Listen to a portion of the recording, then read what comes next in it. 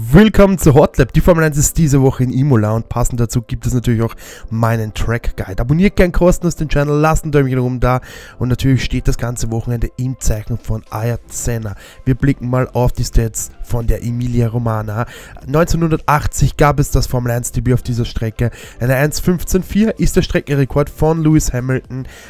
19 Kurven, 10 links und 9 rechts. Michael Schumacher hat mit 6 Siegen hier die Nase vorne und 4900 909 Meter ist eine Runde lang. Ziemlich kurz, aber es gibt hier einige Stellen, die äh, ja, das Auto und auch den Fahrer zum Verzweifeln bringen. 19 Kurven und lediglich eine DRS-Zone und das auch nur auf der Start- und Zielgeraden sorgen hier tatsächlich für einen Ruf, dass man nicht gut überholen kann.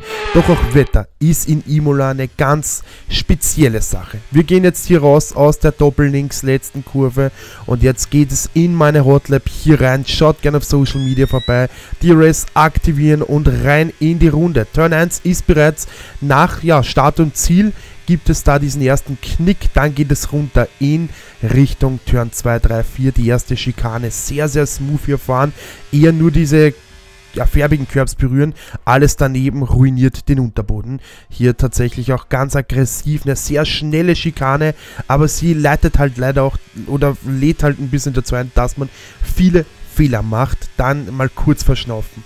Hier die zweite exakt gleich, aber da kannst du viel später reinbremsen in die Linkskurve. Du kannst den ganzen Schwung mitnehmen von der Geraden und beim Rausbeschleunigen nur nicht zu weit raustragen lassen, denn das Kiesbett ist der Gegner, der Endgegner auf dieser Strecke. Die Haarnadelkurve gut gemeistert. Das ist auch tatsächlich eine Kurve, wo du viel Zeit gewinnen, aber leider auch viel Zeit verlieren kannst. Am Ende erfährt er natürlich auch meine schnellste Runde hier und es geht hier raus. Links leicht den Körb küssen, musst du eigentlich gar nicht. Beim Rausbeschleunigen benutze ich immer gern den kompletten Körb und hier kommen wir auch zur ersten Änderung an der Strecke, denn rechts ist hier keine Auslaufzone mehr, sondern nur mehr Kiesbett. Kurve 9 auch tatsächlich ein Track Limit Monster.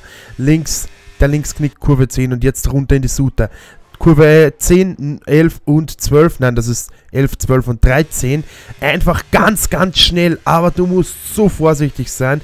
Dennoch in diesem Abschnitt gab es eine Änderung. Links dieses gesamte Blaue wurde entfernt. Hier ist all, absolut nur noch Kiesbett. Und jetzt aus der Innenperspektive. Also du hast kaum Zeit zu reagieren. Du musst tatsächlich immer perfekt einlenken. Sonst ist die Runde quasi schon vorbei.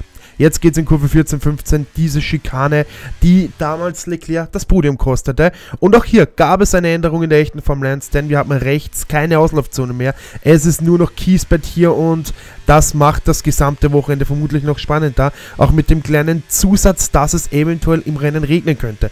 Turn 16 ist der Knick, den fährst du eigentlich hier Fullspeed und dann sind wir wieder unten bei der Doppel-Linkskurve. Turn 17 und beim Turn 18 ist der Exit verdammt wichtig, aber rechts natürlich auch nicht unbedingt das Kiesbett berühren, so wie es ich hier gemacht habe.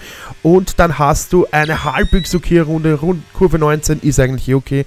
Und das war schon eine Runde hier. Ich hatte eine 1.16.9, also das ist okay, würde ich mal sagen. Ich denke mal, dass die Formel 1 deutlich schneller sein wird. Natürlich gibt es jetzt auch noch, wie versprochen, meine Predictions für das heutige Rennen, äh, für das Rennen am Wochenende. Ich bin verdammt gespannt, freue mich auch, dass Sebastian Vettel mit ähm, Ayrton Sennas Weltmeisterauto, nein, es ist nicht Weltmeisterauto, mit dem 93er Auto, das ihm auch persönlich gehört, fahren wird. Äh, die Top 3 werden ziemlich interessant, werden Ferrari hat einige Upgrades gebraucht und auch letzte Woche schon testen dürfen, quasi in einem ja, Filmtag, den man sich genommen hat. Und ich schätze tatsächlich, dass Ferrari viel näher dran sein wird wie McLaren, sie aber da immer noch teilweise die Nase vorne. Ich würde sagen, Verstappen gewinnt das Ganze knapp vor Charles Leclerc und dritter wird tatsächlich meiner Meinung nach Carlos Sainz. Ich denke, dass das Wochenende tatsächlich im Zeichen Ferrari stehen wird und hoffe es und wünsche es mir tatsächlich ein bisschen. Also ich sehe mal Carlos Sainz auf den dritten Platz. Der wird es aber nicht ganz so einfach haben, denn wir haben mit Lando Norris und natürlich auch Sergio Perez zwei Anwärter, die es natürlich ebenso dahin geschafft haben. Charles Leclerc ganz klar sehe ich auf der 2, wenn er fehlerfrei fährt und der Red Bull tatsächlich das nur in, in, äh, in Miami war, weil er über, den, über diesen Pöller gefahren ist, dann ist auf jeden Fall für mich Max Verstappen immer noch der größere Favorit auf den Sieg.